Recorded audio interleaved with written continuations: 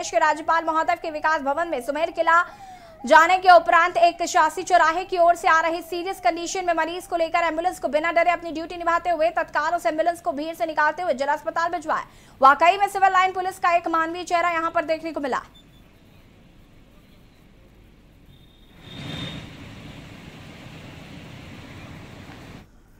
बुलंदशहर में बीमारियों ने बच्चों पर कहर।